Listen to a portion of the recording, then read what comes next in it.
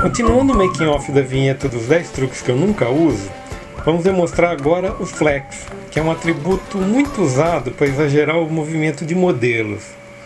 O Fininho explica o que é isso para vocês. Continuando da onde a gente parou, eu vou mostrar para vocês agora o flex, tá?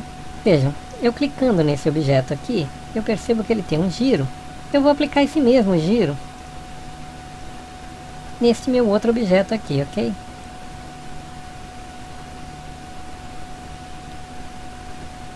De 10 a 20, vamos lá. Muito bem, então ambos os objetos se levantam. Mas perceba que este carrinho aqui, graças ao atributo do flex, ele se levanta como se fosse um papel, ok? Com uma determinada flexibilidade.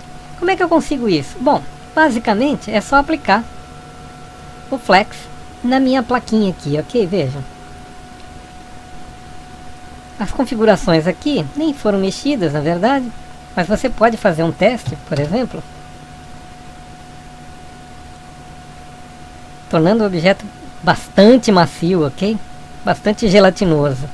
O flex, no caso, ele é utilizado em todos os elementos integrantes do carrinho, ok? Para que o conjunto de deformações aqui fique com as mesmas deformações, ok? O flex é realmente um elemento muito útil quando você precisa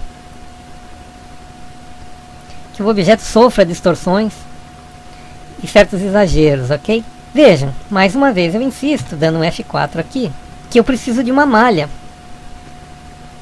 bastante apurada para que meu objeto não, não acabe com problemas nos vértices dos polígonos do que ele é feito, ok? Muito bem, o flex é isso aí. Vamos pro próximo. Esse treinamento é indicado para coisas exageradas e fofinhas. Já viu, né? Procure uma debaixo dos lençóis. Se você não achar, flexione a sua mesmo.